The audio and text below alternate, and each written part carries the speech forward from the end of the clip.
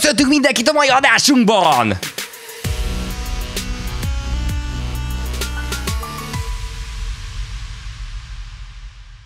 Köszöntök mindenkit szülni nem akaró szeretettel, ez itt van megint a New Zealand stúdió, illetve vagy nem. Pontosabban ez nem a New Zealand stúdió, ez Magyarósi Csaba stúdiója.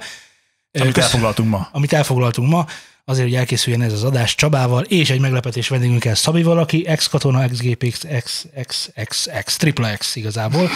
Ennyit kell róla tudni. Szia Csaba, örülök, hogy eljöttél hozzánk, illetve hogy mi eljöhettünk hozzád. Köszöntelek titeket, örülök, Az- hogy itt vagytok. Az apropója ugyebár az ennek az egésznek, hogy hoztunk neked olyan paneleket, amelyek elméletileg majd segítik ezt a visszhangot csönket, ami nálad van, és ennek remélhetőleg ugye ma reggel már láthatták ezt a, a nézők is, hogy ennek mi az eredménye. Neked mi a viszonyod a hanghoz, zenéhez egyébként? Hát a hanghoz már, már mint Igen. hogy ilyen professzionális szempontból, Nem, vagy hogy a nem, hangokat, mint amiket így videós. hallok, szeretek hangokat hallani. Örülök, hogy... Nem, nem. Modácsi csergés. Nem, mint videós, hát Igen. ez, ez azért egy szemét kérdés, mert hogy ide jöttetek és röhögtetek folyamatosan, hogy itt milyen, milyen körülmények vannak a hang számára, mint olyanra. Ez tehát, nem igaz. Mi nem röhögtünk. De, nevettetek, nem de kedvesen, nem nagyon szimpatikusan, de röhögt, kiröhögtetek tulajdonképpen, és azóta is nevettek rajtam, szóval, hogy, hogy az az igazság, hogy, hogy hangokat hallani, mint olyat szeretek, de hogy annyira nem különösebben értek hozzá. Tehát megmondom őszintén, hogy ez sosem volt annyira a fókuszban, és eddig mázlim volt, hogy ez nem okozott különösebb problémát. Amikor ez a stúdió elkezdett épülni, nem okozott különösebb problémát csillag. Tudom, hogy szerintetek eddig is kritikán aluli volt a hang, de úgy elment. És amikor épült ez a stúdió, én azért feltételeztem, hogy itt lehet, hogy lesz ezzel valamennyi gond, de úgy voltam vele, hogy majd utólag megoldjuk, és amikor bekapcsoltam először a kamerát a főhelyen, és felvettem az adást, akkor, na, akkor hallottam, hogy van gond, és akkor már tudtam, hogy, hogy valamelyest hozzá kell ehhez nyúlni. A, azért egy, egy dologban egyetértettünk, hogy azért a YouTube-ra azért nem ők okvetlenül fontos, fantasztikusan gyönyörűen szóló kristály stúdióban épített hangot csinálni. De hogy bizonyos minimumok azért vannak, és ezzel kapcsolatban kérdezném meg, hogy te, én véletlenül tudom, Egyébként elég nehéz tőled kérdezni, mert mindent elmondasz a videódon magadról, szóval Uncsi. viszonylag nehéz, nem uncsi, nem uncsi, semmiképp sem uncsi, de hogy tudom rólad, hogy volt egy tini rap bandád. Volt. Ó, oh, ja, hozok is hozzá valamit. Hozz már, hozzá már valamit. kiállok, Már várom mindenki a vállalk, azért haj, mert haladszodik a mikrofon. Valami biztos. Nem. Semmi, semmi. Tényleg? Oh, Frankóm. Közben én megkérem, hogy a, a tini rap az a műfaj, vagy tiniként volt rap bandája, azért tisztázzuk. Szerintem mind a kettő igaz. Nem, nem, nem, nem, tiniként volt rebbandám, nem tini rappert. És akkor mire az iskola igazgató, hogy a Diri már megint kiszúrt velünk, szóval, hogy Robi, akivel együtt csinálom a műsorokat, nagyon Így sok van. műsort, nem mindegyiket, de mondjuk egy ilyen 20%-et is együtt szoktunk utazgatni. Ő az én gimnáziumi ellenfelem volt, tehát hogy, hogy ez egy katolikus gimnázium volt, ahol emlékszem, hogy amikor egy lelki gyakorlatra jöttünk hazafelé a buszon, akkor össze is verekedtünk egymással, mint egy megtisztulva, ugye már. És, és ebből lett egy nagyon jó barátság, amikor, amikor én elkezdtem repszövegeket írogatni, és megtudtam, hogy Robi zenét készít. És akkor oda mentem Robihoz, hogy "Ö", és akkor pont nem bunyóztam, hogy jól a zenét csinálsz. "Ö, Igen, miért? Hát mondom, én meg ilyen szövegeket írok, nem csinálunk bandát, de és akkor lett belőle egy banda, és ezt pont most kaptam a születésnapomra Robitól, ami Ó, a mi Mézen és Tökös? Mézen és Tökös, ez volt a bandánk neve. És Ki volt Mézen és ez volt a, ez a? Legó vagyok én, a, a Ezt Tökös. A egyből. jó Ő pedig. Mézen a Robi, aki a DJ volt, ő csinálta a zenét, én a szöveget, és konkrétan ezt Lampert Benedek csinálta ezt a képet, aki nem egy képet készített ide a stúdióba, uh-huh. hanem most már kettőt, és Robi elment a régi iskolánkba, és befotózta azt a hátteret, ahol nekünk volt koncertünk. Tehát, hogy konkrétan volt egy zenekarunk, és, és óriási rajongótáborunk is volt Laja, aki kívülről tudta a szövegeinket, és ott volt minden koncerten, és néha kisegített, mert hogy én azért erre a- akadtam, de ő neki benne volt a fejében minden sor. Oké, akkor ezek szerint volt koncert, ez nagyon Több fontos. koncertünk Több koncert volt, is volt, volt évekig tartó rajongótábor. koncert. Volt rajongótábor. Csak egy, fő. akkor most a csak, rajongótáborot, akkor ott ücsörög, az volt Laja. akkor most már csak egy, egy kérdésem van, hogy hol lehet ezt meghallgatni.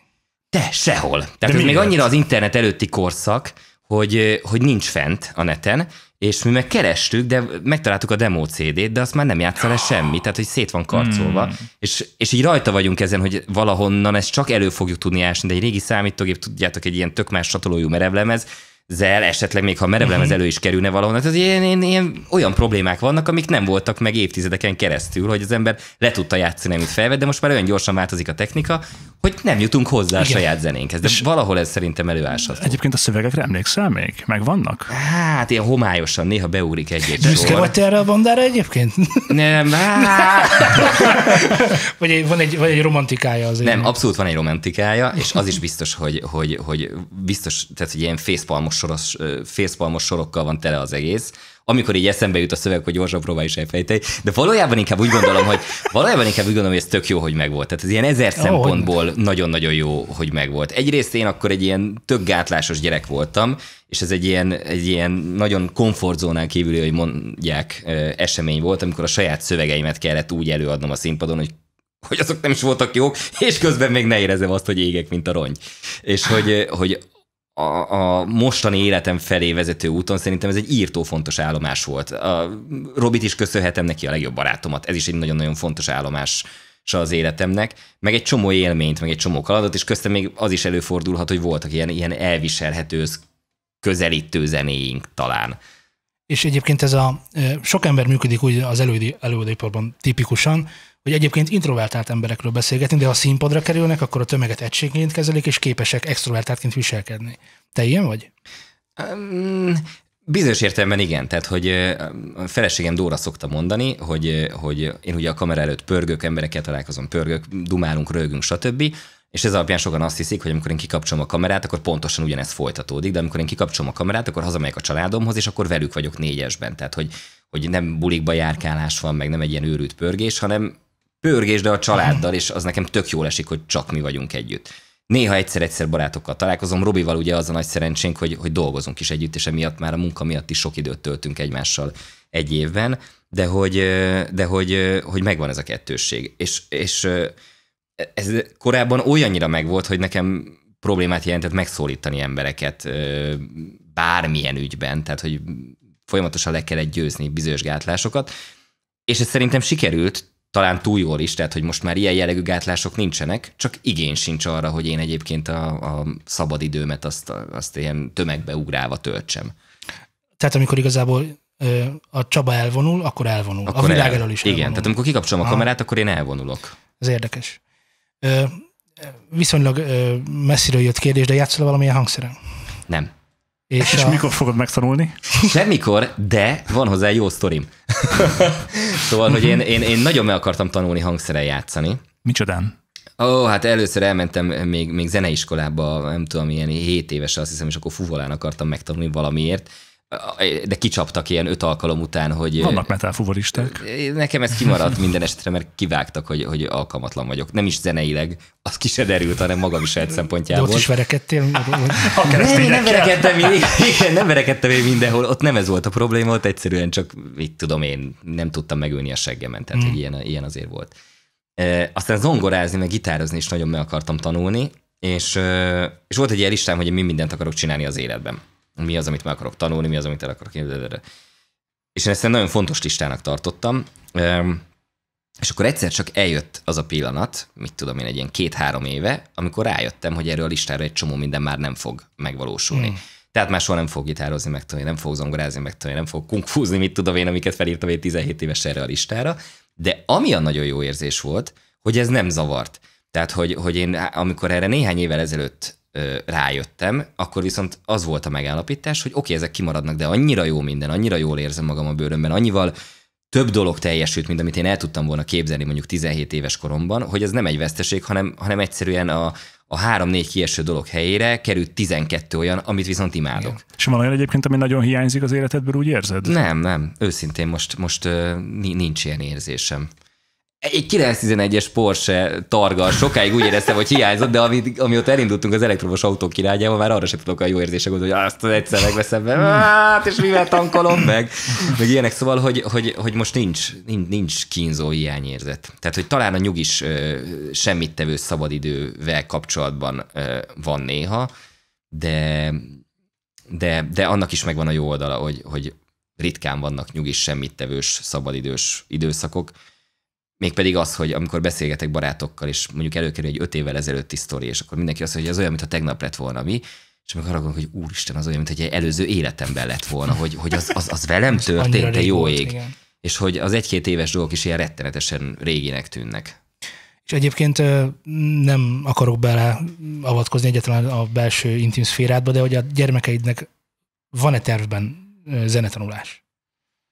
Van tervben, de nincs ilyen nagyon, nagyon súlyos fókuszban. Tehát, hogy uh-huh. miután nekem is kimaradt, meg a feleségemnek is kimaradt, ezért, ezért nem, nem ez az első, ami eszünkbe jut. Az világos. Um, Annával kapcsolatban egyébként eszébe, eszünkbe jutott a zongora, Marccal kapcsolatban meg a dob, mert hogy elég különböző karakterek, és annál, amikor leült egyszer a zongora elé, akkor ilyen tök megdöbbentő volt, hogy ott két-három percig prüntjögött, és akkor utána már volt élvezhető erre. Tehát látszott, hogy ő érti, hogy itt leje, nyom ebbe a sorrendben négy hangot, és egy kicsit lejjebb ugrik, és ott is ugye ezt csinálja, akkor abból valami kialakul, és akkor ő erre így felfedezte, és tök aranyosan elkezdett játszani rajta.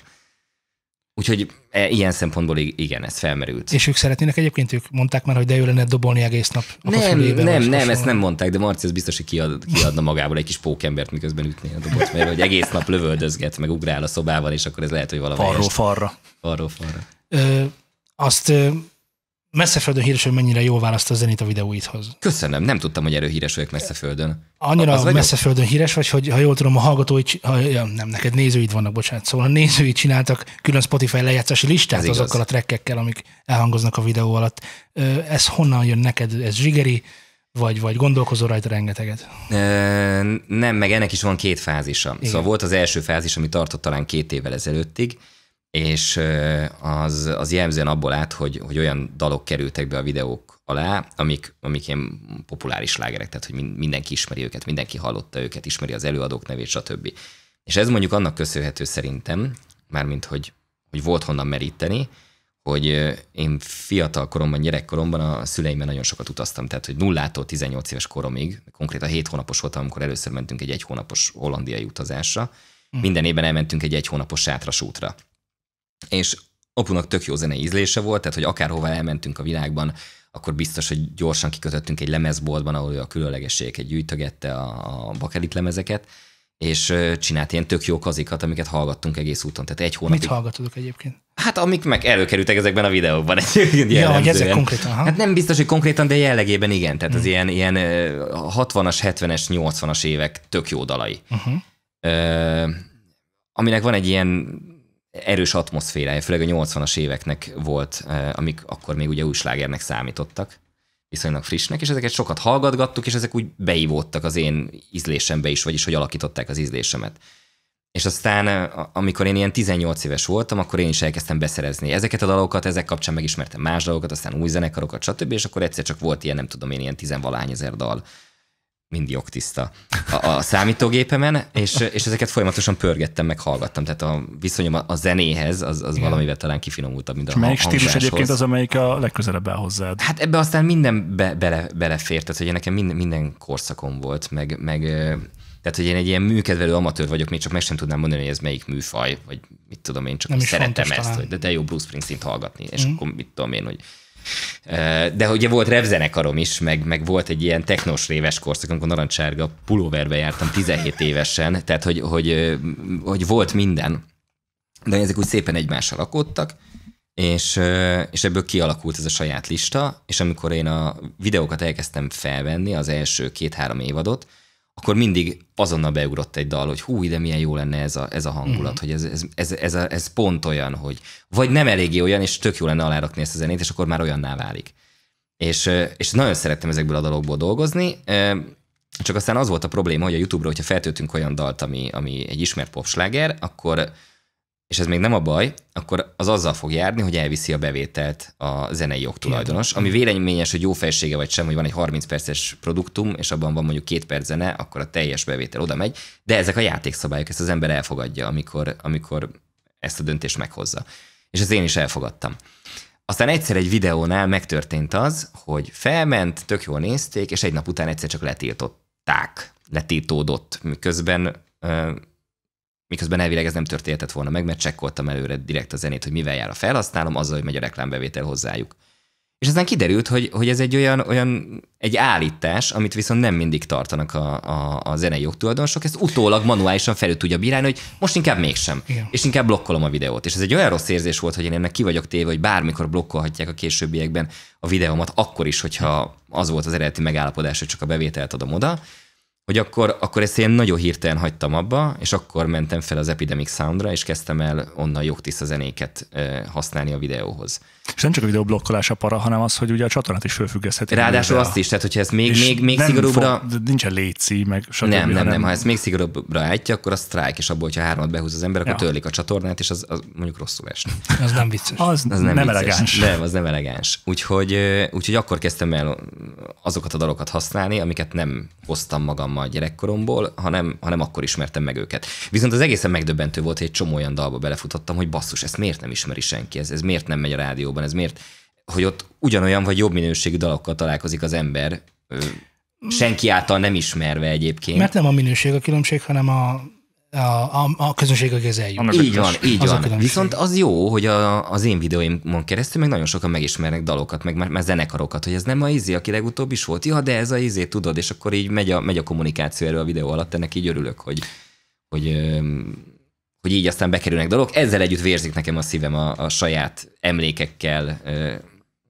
felvértezett dalok után, hogy azokat nem tudom használni, de ez egy viszonylag jó kompromisszum. Egyébként a YouTube nem ad arra utólagos lehetőséget, hogy kísérjed a hangsávot? Ö, hát de igen, csak nálam ugye, tehát hogyha ritmusra van zá- vágva, Világos. akkor találni egy olyat, ami, ami pont oda passzol hangulatban is, meg ritmusban is, és sokszor a szövegem is rajta van, akkor azt úgy, ahogy van, ugye le kell szedni, meg ilyen írtózatos macera, meg nehézség az egész, hogy, hogy, hogy én ezt nem vállom be, plusz a sztrájkot azt utólag már nem tudja az ember mm, ugye jóvá tenni. És szoktál egyébként zenét hallgatni mostanában, hogyha elvonulsz magaddal?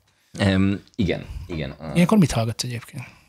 Az nem én azt mondom, hogy azt, ami a videóban is hallható. Nem, azt nem, azt nem, de Gyerekkorom szólok zené a... sem ér. És a tini rebbandák. Pedig arról van szó, mert szólok a Szirinek, hogy játszom valami zenét, és már kiismerte a, a stílusomat, tehát hogy többnyire olyan dalokat játszom. Apple Musicot használsz Megmondom, milyen zenét használok. Uh, iszonyat depressziós, nagyon nyomasztó, nagyon-nagyon mély uh, zenéket. Mármint, hogy ilyen, ilyen mélyre levívő zenéket. Robi azt mondja, hogy, hogy fel fogja vágni az elejét, ha még egy dalt meg kell hallgatni, amikor utazunk, bekapcsolom a saját iPhone-omat, elindulnak arról a dalok, és akkor ezt hallgatja egy három-négy percig, és utána mondja, hogy na most azonnal És kapcsoljuk ennyi pörgés csak így lehet egyensúlyban tartani. Valószínűleg egyébként igen, tehát hogy meg főleg amikor én elvonulok, meg zenét hallgatok, és itt elkezd kirajzolódni egy ilyen nagyon depresszív karakter, de valójában inkább az van, hogy én, én nagyon sokszor vagyok tényleg jó kedvű. Tehát az, az az állapotom, hogy én jól érzem magam a bőrömben. Viszont amikor egyedül vagyok, akkor szeretek egy kicsit így belesüllyedni valamiféle szomorúságba. Tehát, hogy tényleg keresni azokat a pillanatokat, amikor az ember úgy megnyugszik, egy kicsit ö, akár el is szomorodik, mert hogy ezek feltöltik az ember. Tehát, hogy az unatkozás is, ami tökre hiányzik az életünkből, a szomorúság is, a töprengés, a merengés,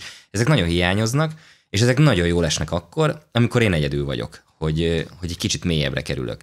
És ezek a dalok, ezek segítenek abban, hogy akkor Igen. a pörgésből valamelyest kikapcsoljak. És mit tudom én, van egy, van egy zenekar, a Tép nevű, senki által, ti ismeritek? Persze. egy skandináv zenekar, azt hiszem, és nekik vannak ilyen, ilyen nagyon érdekes hangzású, nagyon lassú, nagyon furcsa. Downtempo-s, igen. Robi az ki akar ugrani az autóból, ha csak egyet meghal belőle. Pedig közös bandátok volt. ja, igen, igen. Ö, ö, mit tudom én. De hogy tényleg szerteágazó, tehát hogy ami például ilyen nagyon, nagyon együtt rezeg velem, az a, van a Grande Bellezza nevű film, a Nagy Szépség. És annak van egy ilyen tök izgalmas soundtrackje, mert ott az operától elkezdve a, a modern zenékig minden van, és akkor az ilyen két részből áll az album, van egy ilyen nagyon pörgős, meg van egy ilyen lassabb. 15-15 dal. És az első 15 a lassabb, az, az tényleg 30 féle különböző műfaj, de hogy, de hogy, na jó, nem mondjuk 15 féle, de hogy, de hogy azokat például nagyon szeretem hallgatni. Akkor minden nevű vagy, ha jól értem. Igen, minden nevű. Az jó. És ez hogy alakult ki? Már hogy végigmentél sok mindenen, és mindennek megmaradt a szeretete, vagy egyszerűen csak annyira nyitott vagy mindenre, hogy bármi jöhet, ha jó, akkor Ha tetszik. jó, igen, tehát hogy szerintem Aha. csak ennyi, hogy a, a közös pont a zenékben nálam annyi, hogy, hogy, hogy, hogy nekem tetszik, és akkor szívesen meghallgatom. Vannak olyan műfajok, amik, amiket nem fogok tudni szeretni soha, tehát hogy egy ilyen egy minimál techno, vagy Ezt mit nem tudom mond én. még. Jó, jó lehet, hogy fogom, bármikor. de hogy, de hogy, Persze, kecskádozó metal, meg hörgős metal. Igen, tehát hogy, hogy ezeket, ezeket nem, nem érzem. Nincs tehát, hogy ezeket baj. is meghallgattam. Tessék? Nincs ezzel semmi baj. Hát. Ja, nem is, nem is bántani akarok Csak aki, senkit. csak aki Főleg hallgatja. nem ex-katonákat nem szeretnék bántani itt a stúdióban. De hogy, de hogy van az, ami, ami, ami egyszerűen úgy nem, nem annyira talál meg. Mennyire foglalkozol egyébként a kommentekkel?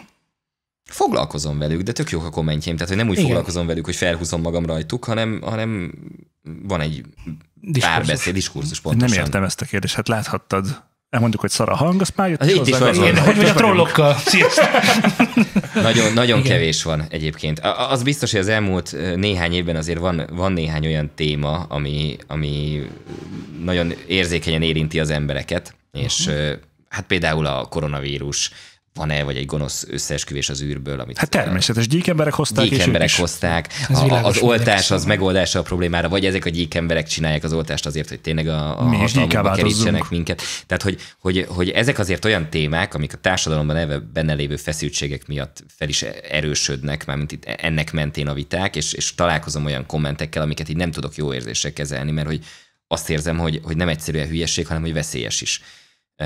És, és annak azért Úgy gondolod, már- hogy ezzel feladatod van egyébként? igen, igen. Tehát én azért olvasom el az összes kommentet, mert, mert úgy érzem, hogyha egy hülyeség rea, reagálás nélkül marad, és nem rakunk oda mellé egy, egy értelmes állítást, akkor az a hülyeség terjedni fog. És ez nem egy gondolat, hanem ez egy tény. Tehát a világunk így működik, hogy a Facebookon a hülyeség az ellenőrzés nélkül tud terjedni, mert hogy a Facebook eleve csak annak fogja odaadni, meg megmutatni, aki nyitott erre a hülyességre, a- akitől kap egy csomó megerősítést az, aki kirakta, hogy ez jó, és akkor egyszer csak terjed, terjed, Ja, majd tízezer ember hisz már abban a hülyeségben.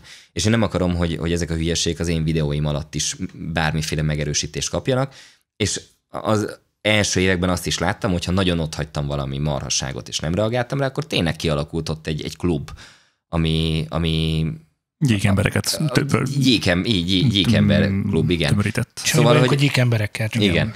Nem, Mindenkinek a ember, természetesen mindenkinek egy a szuterén joga. Igen. Embernek lenni. Igen. De hogy, de hogy, ja, tehát, hogy én foglalkozom ezekkel a kommentekkel. ebben látsz egyébként valami változás az elmúlt, nem tudom, közelmúltban? Tehát mondjuk három éve még nem volt ennyire feszült, vagy, vagy parázs a Igen, helyzet, biztos, biztos, biztos hogy, hogy lehet, hogy a témák miatt is, tehát hogy én is egyrészt bevállalósabb vagyok bizonyos témákban, tehát be, belemegyek olyan témákba, amiből tudom, hogy jól nem lehet kijönni, mert hogy tényleg Mhm. az van, hogy, hogy szartapad hozzá minden aspektusából, és ezek talán kevésbé kerültek elő az első néhány évben, de amikor előkerültek az első néhány évben, akkor is.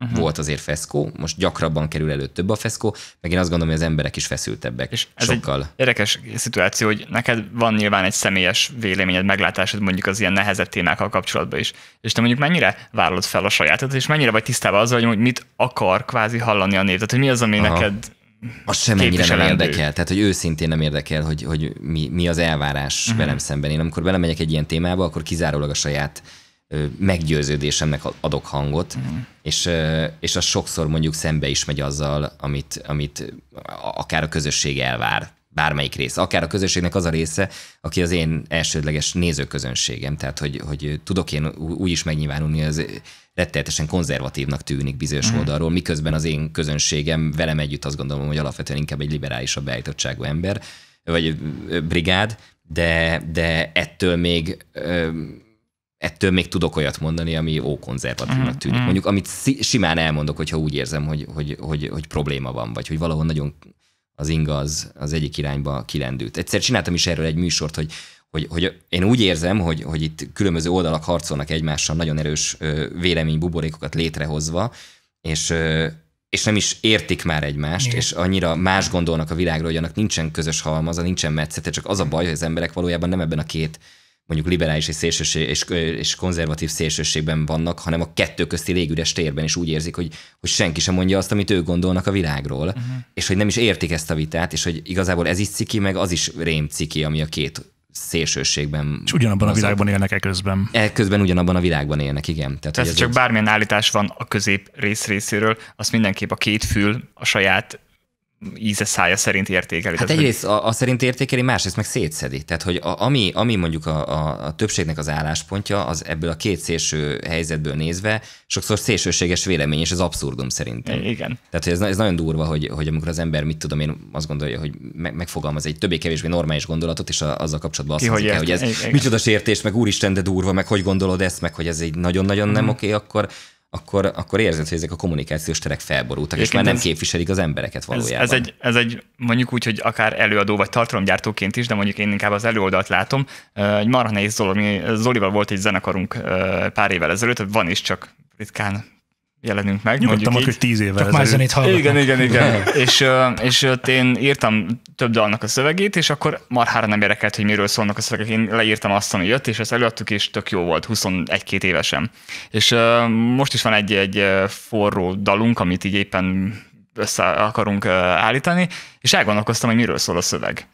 És nem is úgy, hogy én, én tudom, miről szól, hiszen tőlem jött nagy rész, de hogy ezt hogyan fogják mások érteni. Tehát, hogy Aha. már, már látom azt, hogy, hogy amennyire látom a világot, már van egy olyan gondolat bennem, hogy vajon más ember ugyanazt fogja hallani, mint én, és hogyan tudja ezt a saját szájíze szerint Persze. értékelni, hogy ez most éppen akár konzervatív, vagy neoliberális, vagy bármi egyéb ilyesmi. Holott marhára nem erről szól a dal. Igen, de gondolom, hogy a na- nagy többség egyébként érteni is annak, ami. Olyan csak, bízom, csak, bízom benne, hogy így van. Csak nem ők a hangadók, akik E, viszont szét fogják talán, szedni talán ezt a dalt. Igen, és hogyha lesz egy kommentháború, akkor ott Hogy nem a... szélső liberális vagy fasiszta. Tehát mind a kettő el fog hangozni a Egyébként dallal igen, tehát hogy a videó az pont olyan, mint a dal, amikor kiadtad, és kint van onnantól, ez a saját önálló életre kell, és olyan dolgokat látnak bele emberek, amiket nem is tudtad, hogy te mondtad, Persze. de aztán De a költő erre gondolt. De a költő Ezt erre gondolt. A költő Igen, azt mondta, hogy akarta a fene egész Egyébként nagyon keveset látni téged más YouTube csatornákon. Ennek van valami oka? Hát igen, tehát hogy meg podcastekben is ritkán lehet engem hallani, Abszolút. meg tévében is rendkívül Abszolút. ritkán lehet engem látni, pedig hívnak ide-oda, de, de Jönni kell. Hát ezt tanácsoljuk neki. Ja, igen, nem igen, sehol. igen, meg kell, meg kell érkezni. kell. Nem, itt kialakult ez a tök jó kapcsolat, és itt nem volt ezzel kapcsolatban kérdés, de ugye ami miatt én ezekre nemet mondok, az, az mondjuk három nagyon egyszerű ok, ami igazából kettő. Az egyik az, hogy nincs igazán szükségem rá. Tehát, hogy az van, hogy én megtaláltam a közönségemet, a közönség megtalált engem, most lehetne arról beszélni, hogy hú, menjünk el még 20 különböző helyre, és akkor gyorsabb lenne a növekedés a feliratkozó számban a csatornánál, de hogy ez engem igazából őszintén nem érdekel. Tehát amikor amikor mondjuk egy-egy keményebb témát beválok, és akkor figyelmeztetnek arra, hogy ho-ho, azért eszednél legyél, mert hogy ez bánt embereket, és le fognak iratkozni, például engem is, akkor én megírom, hogy tőlem nyugodtan leiratkozhat százer ember. Ha én nem mondhatom el, hogy, akkor, akkor mert, hogy, mert hogy valaki ezt nem bírja elviselni, és mondjuk néhány év teljesítménye neki kevés ahhoz, hogy meghallgassa egy másik véleményt, akkor ő tényleg iratkozzon le, mert akkor, akkor nem beszélünk egy nyelvet. Tehát, hogy nincs egy ilyen retteltes igény bennem, hogy, hogy növekedjen a csatorna. A, a felületem megvan arra, hogy elmondjam azt, amit a világról gondolok, és kialakuljon egy tök jó diskurzus a saját közönségemmel, és, és, és a, a, ez mondjuk az első talán, a másik az, hogy írtózatosan sok melón van ezzel a heti négy-öt adással, hát inkább négy adással, de hogy, de hogy, de hogy ez tényleg egy, egy egész embert elvisz. És nem is értem, hogy hogy lehet ezt csinálni, tehát hogy fogalmam sincs, hogy hogy lehet napi négy-öt, tehát hogy egy hétre négy videót úgy megcsinálni, hogy megtervezni, leforgatni, megvágni, kirakni, megint Kommenteket olvasni. kommenteket olvasni, reagálni, és eközben a jövőt tervezni. Igen, igen, Tehát, tehát, tehát hogy, a, négy adás készült csak, de egy csomó minden előkészületben van Igen. folyamatosan, tehát ma is négy különböző adást fogok még előkészíteni, és ez be van osztva mára, mert ma még erre nagyjából van időm, holnap már ennyi se lesz. És, és ez rendkívül sok időt elvisz, és akkor van a maradék szabadidő, azt viszont, azt viszont én a családdal akarom tölteni, és nem elmenni. Tehát, hogy az adá, a munkaidőből nem tudok lecsippenteni, akkor viszont a szabadidőmből csippentenék le, hogy elmenjek valahova, az meg tök szent. Tehát, hogy, hogy a gyerekeim folyamatosan nőnek, próbálok annyi időt tölteni velük, amennyit lehet. Feleségemmel is próbálok annyi időt tölteni, amennyit lehet, akár kettesben is, mert ez is tök fontos egy házasságban, amiben vannak gyerekek, szét tudják tépni az ember idegeit, és, és emellett, hogyha, e- hogyha be kéne áldoznom bármelyiket, akár csak egy, egy ilyen két-három órás jelenés, hogy egy óra oda, egy óra vissza, egy óra ott, akkor, akkor a hideg futkos a hátamon. Bármennyire is egyébként szimpatikus az a csatorna, vagy aki azt viszi. Azt mondtad, hogy nem érdekel ma már feliratkozó szám. De ez mindig így volt? Nem, nem, biztos, hogy volt olyan időszak, amikor, tehát a százezer feliratkozó az egy ilyen mm, fontos mérföldkő volt. Azt tökre vártam akkor, hogy ú, legyen meg. És aztán meg is lett, és az egy nagyon-nagyon jó pillanat volt. A 200 erről is volt egy külön megemlékezés a csatornán. A 300 erről már nem is tudom, hogy volt-e egyébként, lehetséges, de, de nem különösebben emlékszem. Most meg őszintén nem tudom, hogy hol tart. Tehát, hogy valahol ilyen Nem is 350 körül, de hogy az 340 vagy 360, azt nem tudom. És és ezzel nem azt akarom mondani, hogy ez hirtelen 400 lesz, annak én nem örülök, csak hogy ez már tényleg olyan, annyival sokkal nagyobb, mint amit én el tudtam valaha képzelni magamnak, hogy, hogy nincs bennem ezzel kapcsolatban most már feszültség, hogy, hogy meddig jutunk el. Hát basszus, eljutottunk idáig, hát ki gondolta volna. Amikor 50 ezret elértem, és az egy örömünnep volt, meg, meg, meg, meg petárdákat robbantsunk, már képletesen. Hiszen, Megfordul a csaj. Hiszen illegális. Igen, megfordul a csaj, meg ilyenek, tehát hogy, hogy ezek ilyen nagy pillanatok voltak, és akkor én ezt életemben nem láttam, hogy ilyen 300 valamennyi ezer körül valaha lesz ez a csatorna. Az egész az Apple bloggal kezdődött nekem. Én ott láttalak először a YouTube-on, és ez szinte is csak kizárólag technológiáról szólt. Ehhez képest ma már nagyon sok mindenről az utazóvlogtól kezdve a gondolatkifejtős, véleménykifejtős, nem tudom, műfajon át nagyon sok mindenről szól ez a, ez a csatorna ma már nekem. Neked ez mennyire osztotta meg a közönségedet, hogy érzed? Hát az elején eléggé. Tehát amikor, amikor megtörtént a nagy átállás. Mert ennek azért az az előzménye, hogy megvolt az Apple blog, ami, a, ami kizárólag kütyű csatorna volt, de már ott is azt ugye Szűcs Ádámmal közösen csináltuk, már ott is az volt bennünk, hogy, hogy, hogy egy-két év után már un, nem, nem az, hogy untuk ezt a témát, csak azt untuk, hogy csak erről beszélhetünk. Tehát, hogy mi egy csomó minden mást is láttunk magunk körül, ami számunkra érdekes volt. És ennek megfelelően aztán el is kezdtük ezeket a témákat beleírni az Apple blogba, ami viszont egy kisebb fajta jelázadáshoz vezetett ott pont a, a nézők részéről, vagy az olvasók részéről, hogy mit érdekel engem ez az étterem, meg hogy mit csináltál hétvégén. Tehát egy ilyen személyes blogot indítottunk kb. egy ilyen kísérleti jelleggel, vagy próbáltuk átalakítani a, a, a, az Apple blogot, de látszott, hogy ez nem tetszett a nézőknek. Úgyhogy létrehoztunk egy újat, az Egy nap a városban blogot, amiről el sem árultuk első körben, hogy az a miénk, egy évig ment úgy, hogy nem mondtuk meg, hogy az a mi blogunk. És ott szándékosan nem, nem adtunk meg tematikát, hanem az volt az állítás, hogy bármiről, ami, ami nekünk tetszik, és jó. Tehát, hogy ennyi volt a, a, a, a, a, meghatározásunk. És ez nagyon szépen felfutott az a blog, ilyen fél év alatt már szinte nagyobb olvasótábora volt, mint az Apple blognak, ami addigra már lehetett két-három éves, és még egyszer mondom, nem adtunk mögé hátszert, tehát nem mondtuk azt, hogy gyertek át oda, mert ezt is írjuk, hanem néztük, hogy mivé növi ki magát, és látszott, hogy ez nagyon szimpatikus. És, és aztán, amikor ilyen egy éves volt az Egy nap a városban blog, akkor már, már nem egyszer előfordult olyan, hogy mondjuk írtunk egy helyről, hogy tök jó itt a hamburger, és akkor másnap sorok álltak előtt, tehát hogy kon- konkrétan ilyen 30-40 ember konstans ott állt, hogy egyen, vagy volt egy Na, sütiző. hatalommal bírtok. Igen, volt egy ilyen jellege is a történetnek, de az a jó, hogy, hogy, hogy Pókember, ezt jó, jóra tudtuk használni, azért beszélek Pókemberről, az elmúlt egy hetet filmmel töltöttem Marcival kettős, csak erről És egy Pókember. Igen, tulajdonképpen. És, és mit tudom én, elmentünk egy, egy sütizőbe, amiről írtunk egyet, és kiderült, hogy, hogy, hogy ők egyébként annyira rosszul álltak, hogy be akartak már zárni, tehát hogy az utolsó néhány hét volt a nyitvatartásból, mert nem jött össze nekik ez a projekt. És aztán megjelent a cikk, és akkor utána akkora, akkora érdeklődés kerekedett a hely körül, hogy egyszer csak elkezdtek jönni az emberek, akkor behívtak mindenkit, aki valahol dolgozott, hogy segít sütni, mert, mert hogy nem tudunk eleget sütni. Ez se volt elég, akkor volt kettő törzs vendégük, ő is beállt, ők is beálltak segíteni, mert szerették a helyet, és egy hetekig olyan roham volt, hogy nem bírták ezt tulajdonképpen, nem, nem bírtak egyensúlyi helyzetbe kerülni és aztán sikerült az is, tehát hogy néhány héttel később meg felvettek annyi embert, hogy, hogy onnantól kezdve már nem a bezárás volt a kérdés, hanem hogy merre bővítsenek tovább, meg merre menjenek tovább. Ezek tök jó élmények voltak. Meg hogy ezeket így nehéz is most már így elképzelni, hogy írott szöveg ekkora Igen. hatással tudott lenni az emberekre Mennyit tíz évvel ezelőtt. egyébként tíz évvel ezelőtt? Hát nagyjából. Most ezt így nem tudnám megmondani, talán hát ja, ilyen 2011, 12, 13 a könyv, lehet, hogy abból ki tudnám valahogy nyerni az információt, de valahogy 2010-es évek első néhány éve.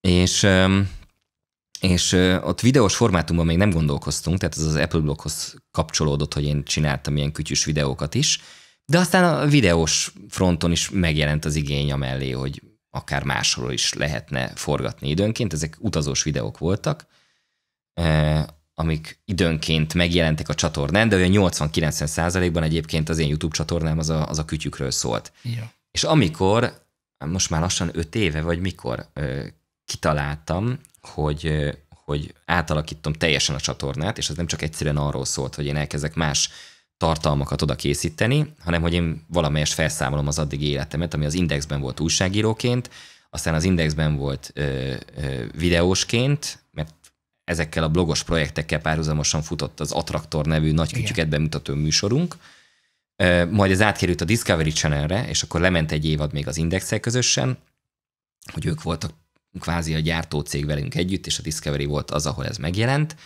Majd a második évad már Index nélkül Robival, Mesterházi Dáviddal hármasban készítettük ezeket az adásokat, amik baromi jót tettek, egy alapvetően kevés emberre készülő netes adásnak, ami átkerült a tévébe, és kaptunk 20 embert, és rotyra vágta az egészet. A vegyük fel kilencszer ugye azt a jelet, és mondtam, hogy most nyírjuk ki ezt az egész műfajt. Nem lehet kilencszer felvenni. Baki van benne, benne van. Úgy a jó. És aztán visszatértünk az alapokhoz, és tök jó volt, lement így egy évad a Discovery-n, amelyik országban vetítették, tök jó volt a nézettség, és nekem egy életre elment a kedvem a tévézéstől ebben az egy évben, mert rettenet. A másik oldalon nézve ez nagyon rossz volt. Tehát, hogy én, én mint tartalom előállító, azt vettem észre, hogy oké, okay, meg tudtuk csinálni, legyártottunk tíz részt, legyártottunk egy teljes évadot a Discovery-nek, nem volt mögöttünk az Index, ahonnan engem kirúgtak egyébként, azért csináltuk már a másik évadot nélkülük, és, és jó nézettséget érte el, és hozza a tévés szintet, amit kell, de hogy én igazából az időm 90%-ában nem a tartalmat állítottam elő, hanem, hanem, hanem leveleztem a londoni központtal, meg mit tudom én, milyen szerződéseket néztem át, mm. meg mit tudom én, milyen technológiai leírásokkal szarakodtam, meg, meg, meg 12 csatornás hangsávokat raktunk össze a hangmérnök sráccal, hogy mágnes szalagra úgy kell felvenni, amit úgy kell kiküldeni hozzájuk a mágnes szalagot, hogy tehát, hogy én megőrültem ettől. És akkor az volt, hogy, hogy egész életemben tévézni akartam, aztán rájöttem, hogy én soha többet nem akarok tévézni, és hogy ez alatt az egy év alatt, ameddig ezt a tíz epizódot elkészítettem, én akár csinálhattam volna száz online videót, amiről csak akarok. És ez egy ilyen tök durva felismerés volt, hogy úristen, mennyi időt pazaroltam erre a tíz részre. És azok nem lettek volna rosszabbak feltétlenül, mint ez a tíz, mert hiszen láttam, hogy az időm nem az adás készítésével ment el, hanem az adminisztrációval. És akkor nem lenne megkötés, hogy, hogy 24 percnek kell lennie, és hogy, és, hogy, és hogy 24 másodpercnek, ha 12-t ér a téma, ha 38-at. És hogy, és hogy nem, nem kell kivágni ezt a, ezt a mondatot belőle, mert hogy hát ez már tévében, hú, hát ez egy erős, erős, valami máshonnan vágjunk be 4,2 másodpercet. szóval, hogy én ezt az egész helyzetet utáltam, és arra is rájöttem, hogy miközben tök szép nézettséget ért el ez a műsor mindenhol, ha én simán feltöltoltam volna a YouTube-ra, akkor ott három-négyszer többen nézték volna meg. Tehát, hogy ez már egy 5-6 éve a tévés tematikus nézettség az olyan volt, hogy amivel mi bekerültünk top 3-ba a héten, nézettségben az adásban, arra, ha ez megjelent volna online, azt mondtam volna, hogy hát ezt nem nagyon nézik. E, és akkor ez volt a nagy pillanat, amikor én azt mondtam, hogy akkor én befejezem a tévét, nem, nem is egyeztetek velük tovább, hogy esetleg egy újabb évad, hanem, hanem én átmegyek online-ra, mert hogy igazából akkor inkább csinálok századást, akármiről. Ú, micsoda lehetőség. És sokkal több nézőt érek el. E, és az egész sokkal szabadabb lesz. És akkor ezt én egy néhány hónapig így tervezgettem, és akkor egyszer csak 2010, mit tudom én, hány január 1-én elindult a vlog, talán 16, de lehet, hogy 17, uh-huh. nem tudom. És ugye az egy ilyen erős pillanat volt a csatornán abban a szempontból, hogy akkor megint felmerült, hogy de hát én a kütyükér vagyok itt, ez engem nem érdekel. És volt egy viszonylag erős ilyen alapzaj uh-huh. a, az ott feliratkozó emberek ö, körében. Mennyit vesztettél el akkor egyébként, vagy vesztettél nem, el? Nem vesztett ez sose derül ki, mert olyan szinten megugrott a feliratkozó szám, tehát hogy én még az életemben olyat nem láttam, hogy, hogy ott nagyon sikerült eltalálni valamit. És... Azon gondolkodtam, hogy mit egyébként? Azon kívül, hogy akkor éppen divatos volt ez az ág, és a YouTube szerette ezt? Nem, nem tudom. Egyébként nem, nem tudom. Tehát, hogy így nézőktől időnként kapok visszajelzéseket, hogy ők miért szeretik. És De az, az, az számomra egy ilyen tök megfoghatatlan dolog. Tehát, hogy, uh-huh. hogy, hogy ami jó is, mert mert kérdezik, hogy én abba az irányba megyek amiben látom, hogy a videókat mondjuk ezeket nézik, akkor olyanokat többet készítek el. De nem, tehát hogy ez abszolút nem működik nálam.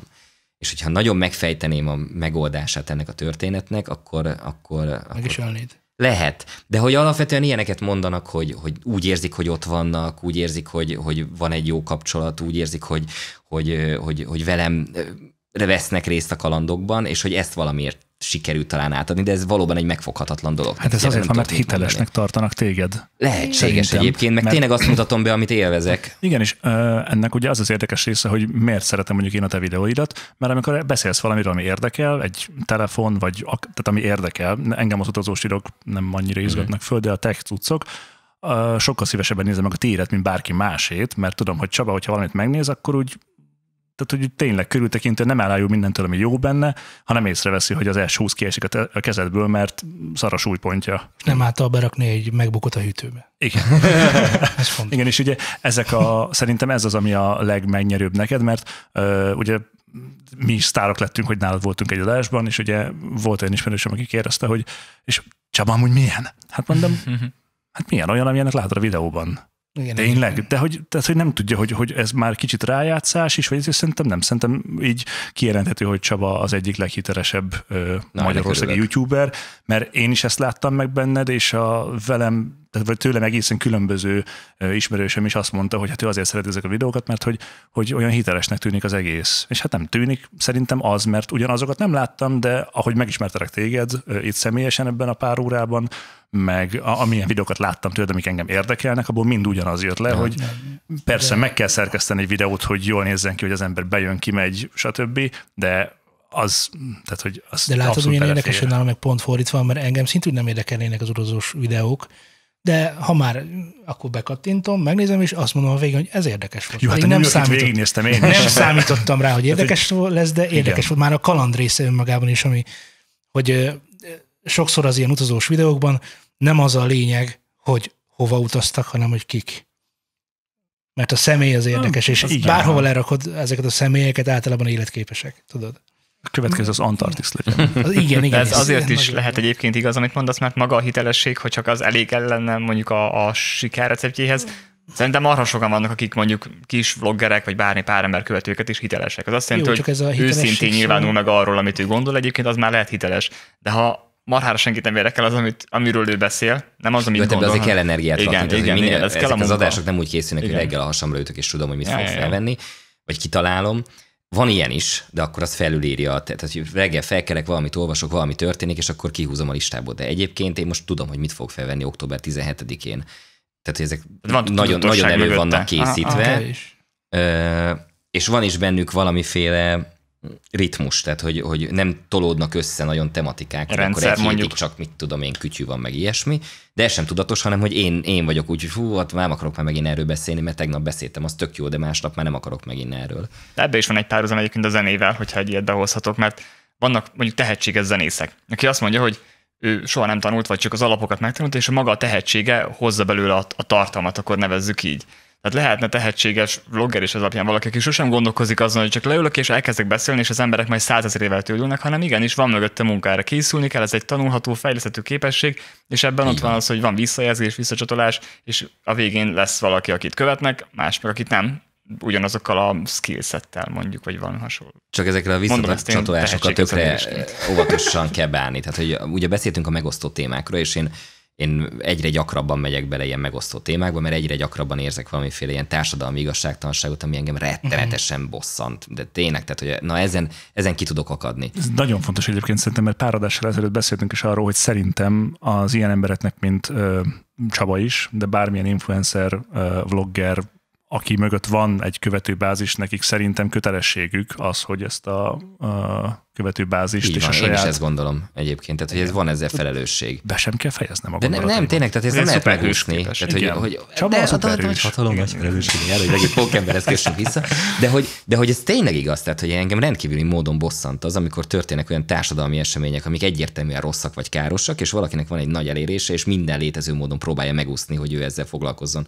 Most nem azt mondom, hogy minden ö, csatornának ö, egy politikai vagy, vagy közéleti helyszíné kell változni, a csatatéré kell változni, mert az nyilvánvalóan nem egy egészséges helyszín, de vannak olyan pontok, amikor azt kell mondani, hogy na ez gáz, ez nagyon gáz, erre mindenki mondja ki, hogy gáz, és akkor talán nem lesz gáz, hiszen érzi mindenki, hogy az, csak próbálják megúszni az emberek, és amikor belemegyek egy ilyenbe, akkor a visszacsatolás az az a kommentek részéről, hogy na most iratkoztam le, most lett elegem, most utáltalak meg, és hogy nagyon sok, tehát hogy a kommenteknek, meg a hozzászólásoknak egy ilyen, mit tudom én, egy, egy ilyen mondjuk 7 a ez, ami, ami mondjuk, mit tudom én, egy ezer kommentnél az, az sok, Aha. az, az, az, az sok.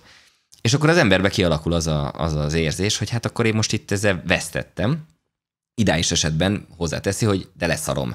Tehát, hogy tényleg őszintén nem érdekel, és én hozzá tudom ezt tenni, hogy őszintén nem érdekel, aki emiatt leiratkozik, az mit keresett itt eddig? Ő, ő mit, milyen mozit nézett? Mert nem az én csatornámat, ami arról szólt, hogy hogy vitatkozzunk, beszéljük meg, hallgassuk meg a másik felet. Hát én magamat folyamatosan ellenőrzöm, hogy, hogy abban a vélemény buborékban, amiben én létezem, mert mindannyian valamelyes be vagyunk zárva, abban hallom-e én azokat a hangokat, amik egyébként őszinte és igaz hangok, csak nem tudnak ide behatolni. Tehát, hogyha én végigolvasom az én kedvenc oldalaimat reggel, akkor, akkor én folyamatosan csekkolom magam, hogy nem egy hülyességet próbálnak átnyomni egy, egy nézőpont szerint rajtam, ami nekem szimpatikus nézőpont, uh-huh. De attól még nem igaz. És egy csomószor látom, hogy de, hogy ez gáz, hogy ez, ez, ez nem hiteles, ez, ez valójában csak egy torzítása a valóságnak. Számomra, hit, számomra szimpatikus torzítása, de attól még az, és hogy ebben nem szabad belemenni ebbe az utcába. Tehát, és én ezt azt gondolom, hogy ez mindenkivel szembe lehetne egy elvárás. De visszatérve oda, hogy leiratkozás hullám megindul, hogy, hogy mostában ilyenkor visszanéztem néhány nappal később a statisztikákat, és mindig azon, hogy egy ilyen nagyon durván megugrik a, a követő tábor. Tehát, hogy egy ilyen tökérezhetően mondjuk 70-en azt mondják, hogy leiratkoznak, ebből hmm. lesz 200 leiratkozó, és akkor jön mellé 3000 feliratkozó, akik viszont örülnek annak, hogy basszus valaki ezt elmondta. Csak ők nem, nem írják oda. És a hangulata az embernek pusztán a kommentek alapján az lehetne, hogy, hogy itt most menekülőre fogták az emberek. Egyébként én is azt mondom, illetve vagy a Csaba elmondta a véleményemet, mert ellenvéleményként akartam megfogalmazni, mert hogyha ott van a Halálos Fegyver című film, akit mindenki szeret. De jó. De nem Persze. tartjuk rossz a filmet csak azért, mert nincs benne véleménynyilvánítás a meleg lobby ellen vagy mellett. Nem kell mindennek ezt fölvállalnia. Aki fölvállalja, annak nyilván megköszönjük, meg szerintem ez is fontos, mert felelősség van benne. Tehát ja, egy kütyű csatornának például nem kell erről beszélni, de az, aki közéleti kérdésekben folyamatosan valamelyest ott mozog, és Igen. próbál, próbál úgymond nevelni, vagy nem is tudom, hogy milyen a jó kifejezés. Példát nevelni mutatni. az biztos, hogy nem jó, de példát mutatni, annak bele kell menni a rázósabb témákban is viszont. Tehát, hogyha valaki egész nap, mit tudom én, egy, egy, egy virág, egy bonsai vlogot működtet, ő, ne szó, ő neki nem kell, de az, aki, aki véleményt alkot, meg arra biztatja az embereket, hogy alkossanak véleményt, de hogy megúszza az igazi kérdéseket, az viszont szerintem nem jó. És az én esetemben ez lenne, erről beszélnénk mert hogy én azért arra biztatom az embereket, hogy alkossanak véleményt, gondolkozzanak, majd behúznám a filmet farkamat, hogyha történik valami jelentőségteljes, hát az, az tökre nem hiteles. Hm. Most az olasz kalandod okán meg is kérdezném tőled, hogy mit gondolsz most az elektromos autózásról? Um, Úgy Alanatóra. Most van elég sok tábor, igen, és ez is már szétszakadni látszik, hogy miben Mondjuk el talán kettő mondatban, hogy mi volt az olasz túra. Ugye elmentünk egy, egy nagy aksis elektromos autóval, amivel haladtunk összesen talán, én is tudom mennyit, mondjuk 1200 kilométert, most mondtam valamennyit, és töltöttünk vele mondjuk 8-szor ez alatt az út alatt, vagy mit tudom én hányszor, és ebből az összes töltés hibátlanul lement, kivéve egyet. És az az mhm. egy, ami viszont nem ment le, az ott, az ott akkora gáz volt, hogy, hogy, hogy majdnem nem ment tovább az egész projekt. De most akkor ezek alapján ugye a vélemény az, hogy egyébként majdnem tök jó, és majdnem hibátlan az elektromos autózás, tehát hogy úgy mentünk végezen a túrán, azt az egy állomást leszámítva, hogy, hogy, hogy nagy távolságokat tettünk meg idegenben, egy új technológiával, amihez egy új töltési rendszer is csatlakozik, úgyhogy valójában nem nagyon vesztettünk időt. Tehát vagy akkor töltöttünk, amikor ettünk, vagy akkor töltöttünk, amikor megálltunk pisi szünetre, vagy akkor töltöttünk, amikor aludtunk a szálláson. És ez baromi jó volt, és ameddig el nem jutottunk addig az állomásig, ameddig amiről mindjárt beszélünk, addig úgy éreztük, hogy akkor ez megvan. Tehát, hogy ez, ez, ez pipa. Tehát, hogy valójában nem, jelent, nem jelentett semmilyen kompromisszumot az elektromos autó a benzineshez képest, külföldön sem. Tervezni kellett egy kicsit többet. Egy kicsit kellett többet tervezni. De az, az tényleg annyi volt, hogy nem menet közben, akkor itt kb. itt leszünk éhesek, mi van ott, ott az van, jó, hát akkor ott megállunk, de és akkor ter- ott ilyet, ilyet, tervezel, nem, tehát üzemanyaggal is. Igen, én azóta mentem benzines autó is egy csomót, és ott is tervezni persze. kell, hogy fú, mennyi, mikor fog kifogyni, Igen. hát ebédelni is kéne, ezt a kettőt kössük össze, hogy ne álljak meg egyszer tankolni, majd még egyszer kajálni, meg ilyesmi. Igen. Tehát, hogy ez, ez tényleg egy kevéssel jelentett több tervezést. És azért fontos hangsúlyozni, hogy, hogy, hogy az volt a felismerés, hogy külföldön már nem jelent ez igazi kompromisszumot, mert azt már én tapasztaltam, hogy belföldön nem jelent, hiszen egy éve elektromos autót használunk, és mint vajon tök jól elmegyünk. Majd eljutottunk addig a megállóig, ami be volt tervezve, 20 perc töltés, nem működött a kút. Felhívtam a kútkezelőt, hát sajnos nem működik. Nem baj, szembe van vele egy másik, használjuk azt. Hát de ahhoz kell egy alkalmazás, nem baj, letöltjük. Ja, a magyar App Store-ban nincsen benne, csak az olazon, meg az osztrákban. Basszus. Akkor letöltünk hozzá egy másik alkalmazást, ezzel megy az idő, megadjuk az összes adatomat. Megadom, ott van az alkalmazás, rádugom a töltőt, nem bárt hiba. Rohagy meg. Oké, nem baj, van egy másik töltő közelbe. Átmentünk oda, kiderült, hogy egy kórház területén belül van, nem férünk hozzá. Átmentünk a következő töltőhöz, arról kiderült, ezek már mind lassú töltők voltak, tehát óriási kompromisszumot jelentettek volna az elsőhöz képest, de legalább lehetőségünk lett volna eljutni Veronáig, nem 20 perc töltéssel teli tankig, hanem mondjuk egy óra töltéssel negyed tankig, de Veronában úgyis forgattunk, ott ráduljuk egy töltőre, hát vagy és rendben lesz. Igen. Igen. A következő nem működött, az azutáni nem működött, és végül eljutottunk valamihez, ami végre működött, és amihez volt appunk is, és ahol el tudtuk indítani a töltést, ami itt már buktunk egy másfél órát, és ott nem 20 percet kell töltenünk, hanem egy teljes órát, és így két és fél óra lett a 20 percből, miközben nekünk már rég Veronában kellett volna forgatnunk. És ez nagyon gáz volt, és itt kijött az összes hiba az elektromos autós hálózattal kapcsolatban, ami tulajdonképpen mind ugyanarra az okra vezethető vissza, hogy alkalmazás kell ezekhez a kutakhoz. Nem az, hogy oda megyek, leúzom a bankkártyámat és töltök, hanem, hanem mindegyikhez le kell tölteni az appot, mindegyikhez be kell regisztrálni, és a többi, és a többi. És amikor megjelent ez a videó, akkor a Magyar Elektromos Autós Közösség az ö, egy része, a legfanatikusabb része elmondta, hogy mi tök hülyék vagyunk, nem értünk hozzá. És akkor mondtam, hogy jó, lehet, tehát hogy vannak emberek, akik jobban értenek hozzá, mint én, de hogyha ha, ha, ha fölöttünk van a szint a belépéshez, az akkor, Az a, nagy baj. Akkor, Az para. Akkor abból, kell. Igen, tehát hogy az, az, Igen. úgy, az úgy nem oké, tehát hogy azért nem vagyunk teljesen hülyék, hanem hogy úgy mondjuk elég járatosak vagyunk benne, nem prók, de uh-huh.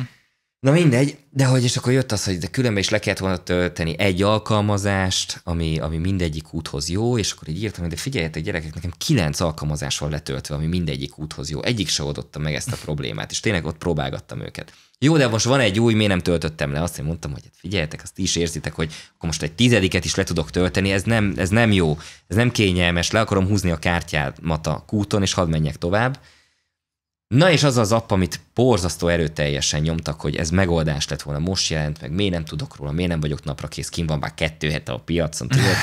Ezért miért nem ezzel mentünk? Igen, ősember. Na, két nappal később, hogy ez a, ez a vita lement valamelyik fórumon, egy másik vita kezdődött ugyanezen a fórumon, hogy úristen, nektek is ellopták az összes pénzeteket, és kiderült, hogy, hogy ez az alkalmazás, ez nem volt, nem volt kellően ügyesen levédve, és ilyen több százezer forintokat utaltak el az alkalmazás hibájából mindenkinek a számlájáról, majd mindenkinek letították a bankkártyát, és idővel vissza is kapták ezt az összeget, csak ez velünk külföldön megtörténik, hogy Hát én megadom ennek, a, nincsen bankkártyám, nem, tudok, nem is tudok többet tankolni bankkártya nélkül, hiszen azt be kell regisztrálnom ugye az abba, tehát, hogy, hogy egy ilyen megoldhatatlan feladat elé kerültünk volna, és az az érvem, hogy ez nem oké, hogy nekem tíz különböző abba meg kell adnom a, a, az édesanyám születéskori nevétől elkezdve az én születési helyemet, hogy ez nem biztonságos, az ilyen tök jó bizonyítás nyert, hogy, hogy ja, igen, tehát ez nem oké.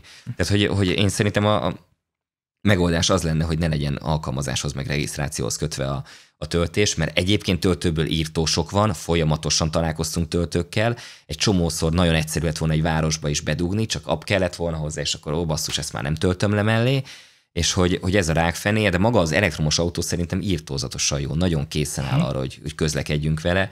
Én Magyarországon már szinte csak azzal közlekedem, és most külföldön is kiderült, hogy ha a kút nem rohadt szét alattunk, meg nem, bocsánat, nem, nincsenek vele komoly problémák, akkor egyébként működik is a történet.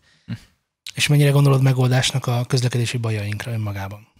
Az, hogy mindenki átül egy, egy elektromos autó, az például megoldaná azt, ami most itt van, mondjuk a mai Budapesten. Hat körrel találtunk parkolóhelyet Nem, reggelenként. ne, a parkolóhely ez egy másik dolog. Az az Egy részét igen, egy részét nem. Tehát az, hogy ne legyen smog a városban, azt nyilvánvalóan azért jelentős mértékben megoldaná, de annak is csak egy részét, mert ugye pont Budapestben egy csomó, Budapesten egy csomó házat ilyen házközponti fűtéssel fűtenek, és akkor az télen nyomja ki magából a, a káros gázokat, tehát hogy, hogy És a szállópor sem lenne elméletileg kevesebb, Nem, mert fölverik az autók. Így, így van, így van. Tehát, hogy, hogy probléma az mindenféleképpen maradna, de azért egy nagyon fontos részét kezelni az elektromos autózás. Mi például úgy vagyunk vele, hogy egy kicsi elektromos autót vettünk, ami kicsi helyet foglal a városba, azzal tudunk furikázni mindenhova, és ettől függetlenül megmaradt a régi nagy dízel, ami most már 11 éves, és az ilyen nagyobb utakra az nem is a belvárosban van, azt elvittük máshová, nem foglalja itt a helyet, és hogyha valahova menni akarunk, akkor bele tudunk ülni, és el tudunk vele menni. Csak hogy szinte sose jut eszünkbe beleülni abba, tehát hogy alapvetően a kicsivel megoldunk mindent, meg arra is gondoltunk, hogy hát már ilyen baja van, olyan baja van, rá kellett költeni egy csomót, el kéne adni, ebben a méretben venni elektromosat, az, az rémálom, iszonyatosan drága, akkor vegyünk egy, egy újabb benzines vagy dízet, de hát azt meg már most hova vegyünk, és hogy akkor mi erre a problémára a megoldás, és akkor eljutottunk oda, hogy igazság szerint ahányszor használunk mi egy nagy autót külföldi útra egy évben, vagy akár belföldi útra, ilyen két-három naposra, az valószínűleg egy kölcsönzésre sokkal egyszerűbb, meg olcsóbb megoldani. Tehát, hogy most már vannak ezek a carsharing szolgáltatások, elvéted az autójukat öt napra, üzemanyag ingyen van, biztosításra nem kell költened, és valójában van folyton egy új autód, nem kell bemenni valahova mindig megadni az adataidat Igen. egy autóbérléshez, csak lemész az első autóhoz, kinyitod és elviszed. és hogy, és hogy akkor viszont érdemben sokkal kevesebb autóra van, nagy autóra van szükség, ugye, hogy utazgassunk, hogyha mindenki ezeket viszi el magával. Még nem tudom, hogy mi van egy nyári Balaton. Hát ez rendkívüli tudatosságot vár egyébként az emberektől. Igen. Mm, mindig egy picivel többet kell csak odafigyelni, ugye. Az az evolválódásnak a titka. Hát jó, csak az ilyeneknek mindig ellenfel a kényelem és a megszokás, ez hogy azért... Kényelem és a megszokás, nem, a lustaságnak hívják azt, amit... Ez, ezek együttesen, egy, egy, egy gyűjtőfogalom a lustaság, igen. Igen, igen, igen. Csak hogy egy picit beszéljünk a jövőről. Nagyon sok stációját fedeztem fel az életednek az indexes munka, az attraktoros munka, most a YouTube, és emellett még az egy nap a városban, és a többi, és a többi, és a többi. Lehet, hogy lesz majd egy olyan Csaba, aki majd azt mondja, hogy na most elég a YouTube-ból, és valami mást akarok csinálni. Lehet, hogy lesz ilyen, csak őt még nem ismerem.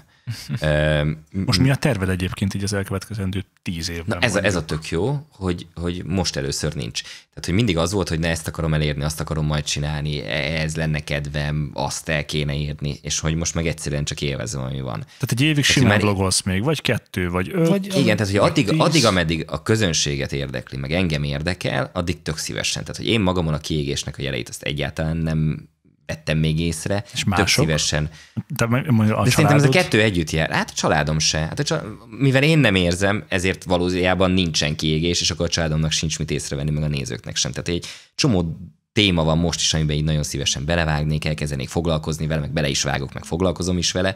Megvannak azok a szünetek minden évben, amik, amik segítenek valamelyest feltöltődni. Most is épp egy ilyen után vagyunk, tehát hogy most kettő vagy három hét kiadás után indul újra a blog a mai nap ezzel az adással.